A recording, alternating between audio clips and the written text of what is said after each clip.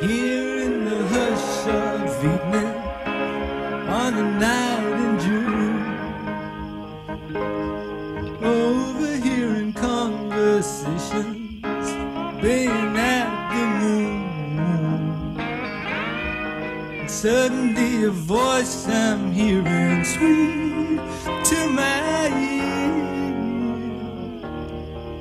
This is tomorrow calling, 我心里。